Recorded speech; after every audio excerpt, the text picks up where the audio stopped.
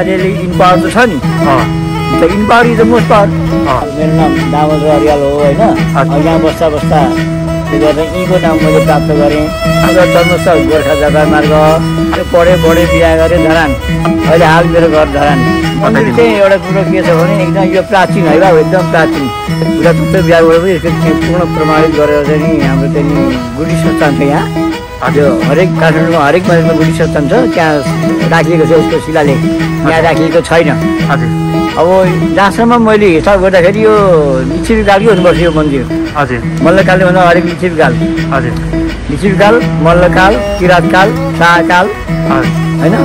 यी कालहरू शासन प्रशासनको समय हो। हजुर।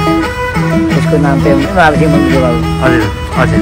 त्यसपछि अब यहाँ चाहिँ विशेष गरेर चाहिँ अब हाम्रो चाडपर्व वर्षमा चाडपर्व हुन्छ नि बाबु? हजुर। अब जस्तै अब पहिलो वैशाखी जति हाम्रो नयाँ नयाँ वर्ष शुभकामना पनि मान्छेहरू आउने जाने थुप्रो मान्छे आउँछन् होइन? हजुर। आमाको सेवा ढोक वरदान माग्नुलाई हजुर। र दो दोस्रो कुरो भदौमा अब तिजको समय हुन्छ नि दिदीबहिनीहरूको चाहिँ हजुर। घुमफिर गर्ने नाचगान गर्ने समय त्यो पनि यहाँ चाहिँ राम्रो प्रकार भिड हुन्छ। त्यस बेला पनि अनि त्यसको लगत्तै तिन दिनपछि कागी अस्ति भन्छ कागी अस्ति भनेको मालसिंहको नाम। हजुर। अनि त्यो दिन सोह्र दिनसम्म चाहिँ श्रीमा श्रीमतीले या नानीहरूले या कसैले इच्छा गरेमा सोह्र दिनसम्म व्रत बस्ने चलन पनि छ यहाँ। त्यो। दिन पनि समय सुरु सुरु अन्तिममा भिडै हुन्छ। हजुर। अर्को भिड भनेको तपाईँको दशमीको फुलपादेखि सुरु हुन्छ यहाँ। हजुर।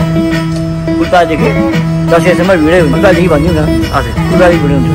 अनि अर्को यहाँ दिपावलीमा हाम्रो कार्तिक दिपावली भन्छ नि अब हजुर। हो त्यो दिन त अत्याधिक भिडै हुन्छ। भिड हुने समय हाम्रो त्यति नै हो।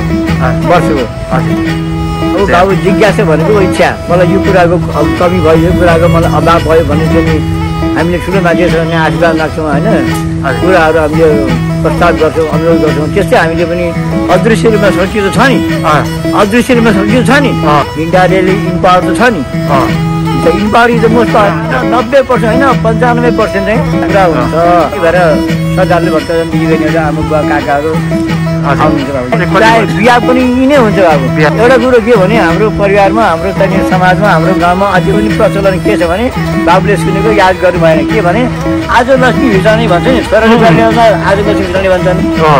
छोरी पठायो भने त उतापट्टिकोले आज लक्ष्मी आउने उतापट्टिको आज छोरी के अरे अन्माउने लक्ष्मी अन्माउने आज भन्छ नि। त्यस कारण बिहा गर्नु भनेको साक्षात स्पष्ट रूपमा बिहा गर्नु भनेको मानिसहरूको प्राङ्गणमा प्राण भनेको काठमा एरियामा त्यो अझ राम्रो त्यो अझ सगुन। महालक्ष्मी भने देवी गणेश। गणेश विष्णु। गणेश देवी। गड भनेको देवता गड अँ। भनेको देवी। देवी। जस्तै हामी मेन भनेको फिमेल। होइन? मेन फिमेल हुन्छ नि महालक्ष्मी। महालक्ष्मी। विष्णुको श्रीमती महालक्ष्मी। विष्णु भनेको श्रीमती। खास चाहिँ नाम चाहिँ लक्ष्मी हो। होइन। अब एकदम सम्मानित गरेर प्यारो गरेर एकदम नाम दिएको हुनाले मलाई इज्जत दिएको हुनाले महालक्ष्मी भनेर सम्मान गरियो लक्ष्मीलाई माला महालक्ष्मी बनाइयो। भूकम्पले यस्तो भयो त्यस्तो चाहिँ यसको जो एउटा चाहिँ यो शक्ति भनौँ या चाहिँ बनावट भनौँ कालीगढको कला भनौँ जे भनौँ होइन? बनावट चाहिँ जो कलात्मक भएको हुनाले शक्ति पनि आधार भएको हुनाले केही असर पर्नु पर्ने हुन्छ। बहत्तर प्रकृति हो। सालको मा भूकम्पले केही असर गरेन। प्रकृति पनि अब अदृश्य शक्ति नै हो होइन?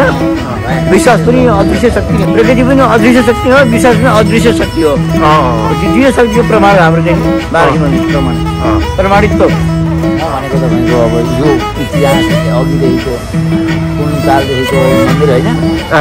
अब मन्दिरको विषयमा चाहिँ मलाई आउँदैन। हामीले गर्ने भनेको अ, रुद्र पाठ गरिन्छ। श्राद्ध गरिन्छ निवारण गरिन्छ। यहाँ महालक्ष्मी मन्दिर र विश्वकर्मा मन्दिर। महालक्ष्मीको पूजा गर्न आउँछन्। अब आफ्नो भाव भक्ति अब पूर्ण होस् भनेर चाहिँ महालक्ष्मीको पूजा गर्न आउँछन्।